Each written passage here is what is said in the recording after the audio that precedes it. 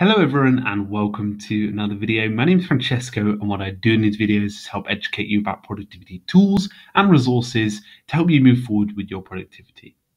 So in this episode, what I'm going to be doing is briefly showing you a new feature inside of Slack. So what I wanted to do is I wanted to show you the new reminders feature on Slack. So as you can see, I'm in a conversation here with Paul, uh, Paul Minors. Um, his blog is paulminors.com. Um, he also writes about productivity. So I just want to thank Paul for letting me use um, him in this quick video to show about how to use Slack. Essentially, what you can do is um, if you use the slash button, you can type in remind, and then uh, you can actually set a reminder for yourself. You can set a reminder for someone else, or even for a specific channel. So let me just remind Paul. So what I'll do is I'll press at Paul, uh, select Paul, uh, remind Paul tomorrow at uh, 10 a.m. to go to Francesco's YouTube channel. And when I type this in, what it's going to do is it's actually going to prompt Paul at 9 p.m. New Zealand time.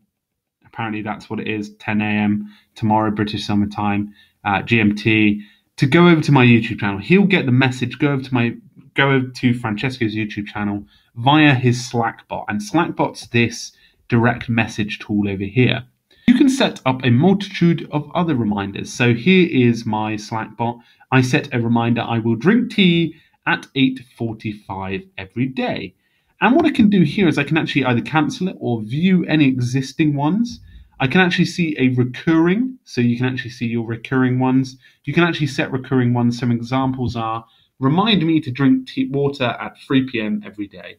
Remind me on June the 1st to wish Linda happy birthday. You can also remind channels, as I mentioned. So slash remind hashtag team alpha. So I could do hashtag team editorial, um, to update the project status every Monday at 9 a.m. So that could be a great way for your team to kind of coordinate uh, yourself. So you could, you know, hat slash reminder hashtag general, which is the the general uh, Slack community. Just say, you know, um, make sure to share your weekly updates at Monday at 10 a.m. I'm not sure. Uh, whatever it is, it could be specific for your team. And as I, as I mentioned, what you can do is you can click that view existing reminders. Down here, you can see all of your reminders for others. But there is an actual feature that if I were to go remind, I'm for spelling, remind list, and I just type that in, uh, what it can do is it will bring up all of those at any given time. So if you don't want to, if you're struggling to find that view existing reminders there, then you can find everything there. You can also cancel one, as I mentioned there, but you can also delete ones down here. And you can dismiss that Slack bot, uh, which means it will go away from the specific feed.